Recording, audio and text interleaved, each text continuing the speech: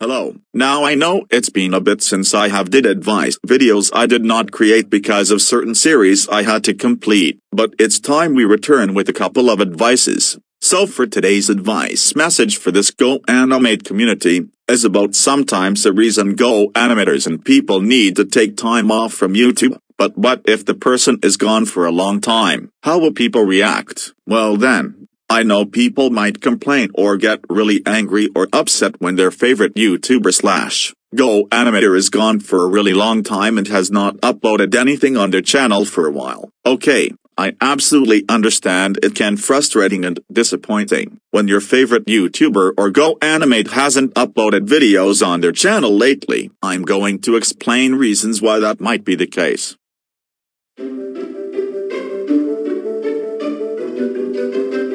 This has been explained thousands of times, but people have stuff they have to take care of in real life, which could be a reason people need to be off YouTube for that time, like spending more time with family, getting stuff done in the house.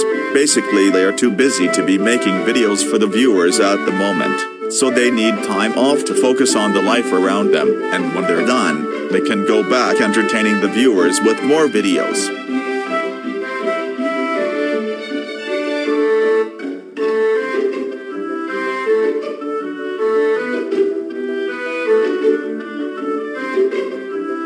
Another thing about this is this is a new time and more of where YouTube is usable and something almost everyone uses for stuff. But however, YouTube basically taking over is not really a bad thing for most people. Same thing with TV getting popular. It's a good day as a kid, watching your favorite childhood shows as a child. YouTube also provides some really old stuff like old commercials and TV shows and promos that came along before the website YouTube was even in the picture. If you even wanted to scroll back what the world was like 20 years ago, 76 years ago, or even wanted to travel to the year 1960s TV, 70s TV, 80s TV, or the 2000s TV, Guess what's all here archived? Delphan Productions discovered a lot of TV archives back in the day by scrolling online to look for those, and how everything back then was very different. Back when I was a kid, there was no YouTube. Computers were not usable as they are more today. The only cartoons popular were Scooby-Doo, the Flintstones, the Jetsons, and a lot more older cartoons. The 2000s was when Nick Jr. and Nick got into the picture and started becoming a popular trend then. The shows Blue's Clues, Bob the Builder, Oswald, Dora the Exploder, Hey Arnold, Rugrats, SpongeBob got just as popular than the really old cartoons did. And that's how TV gotten popular because there was more stuff to watch. Computer games was just the start. More games came out and that's when people gotten into computer games. More than they did back in the 1990s timeline. Xbox existed, PlayStation existed, and as we evolve on, 2005 to 2007 was the new websites that years later changed how people wanted to do in their time. For some people like myself, it can be normal because there's some good stuff online, even old TV archives I watch sometimes. Sometimes though, YouTube can be a scary place for some people. Some kids are not being responsible and going to websites that aren't meant for kids. Even going on some group chats where people are not respectful and want to do nothing but make up lies about you, disrespect you, want to make you feel traumatized for a while.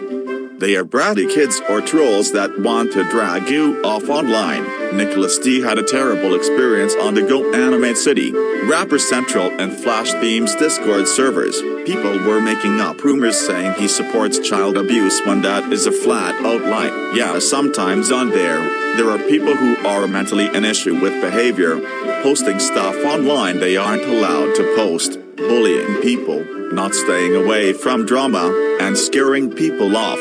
If you are new to the social online stuff, I really want you to be careful when dealing with some chaos online that aren't trustable and doesn't make you feel welcomed in that community. Because some people that came to this community had a bad experience at the end, and that was the last time they would ever go online ever again. Also, if someone was always on YouTube for almost forever, and isn't wanting to work or spend time with family or doing anything healthy in their life, not even getting a job, then that's letting social media take over your life, and that is a very bad sign to your future. You're going to let your worries online take you over, trying to tell people to knock it off doing insults back to them. If you are feeling bullied and not welcomed, you don't keep going and try to tell them to make it right. That will turn into a fight and you will let that take over your life. It changes your character and personality, your family won't even notice who you are. In one Jeffy video on that channel that once turned into an SML parody channel formerly Magical Mario Brothers, Jeffy wasn't who he is ever since he became a Discord moderator. Also the fact he didn't shower for weeks, At least at the end he realized that was a bad thing. Another example is another video, Luigi's Apple Vision Pro. He was getting obsessed with the Vision Pro and not bother hanging out with other friends which was basically his family. That also changed him and made him completely different.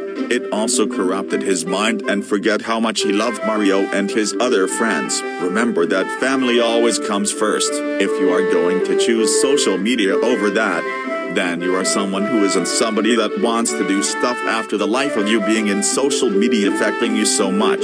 It's never a wrongdoing trying it out. Getting obsessed with it too much can ruin your life without having a job or working or getting fresh air. That's why we need to take this time off. If I only cared about getting videos out, being obsessed with getting famous and release video to video every day, and not even caring about my fans, the family close to me, then most people would see me as a creep, someone not recognizable, or might see me as someone who is on something. So I'm using all this responsibly. I have always been aware what I am doing or the stuff I did.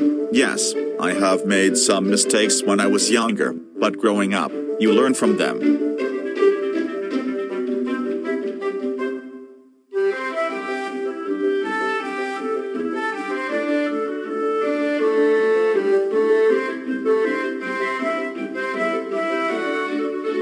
Another reason they hadn't been uploading for a long time is because of stuff they have to do in real life. And if it's too much, they could decide to just stop altogether. Doing all that and making videos could be too much for the person. Lanky Sheet the 2D Ninja announced that he has made his choice to retire from the Go Animate community two years early because he is applying to transfer to a four-year university. When he transfers there, He's going to learn to be a graphic designer. He definitely will not be around as that time and can't do Go Animate videos as he did before, and trying to do that and continue his Go Animate career is all too much.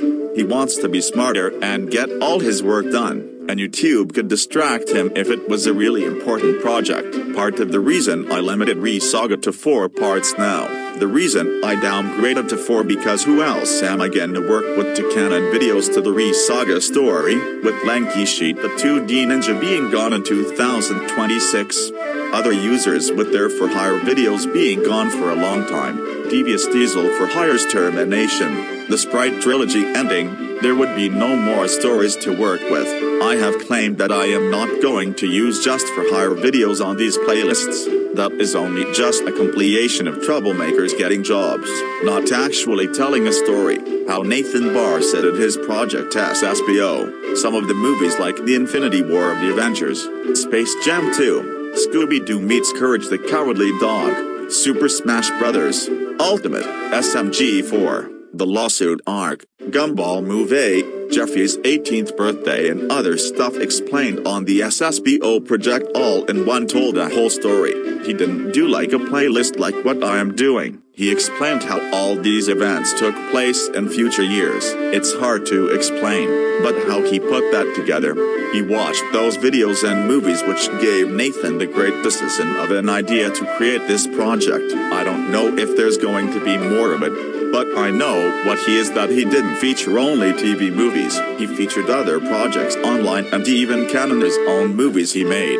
But the whole point for this topic is, they might decide to leave. The life they are in is too much for them. They don't have time to do videos anymore. I hope this helps you understand. Thank you for watching. See you in another video.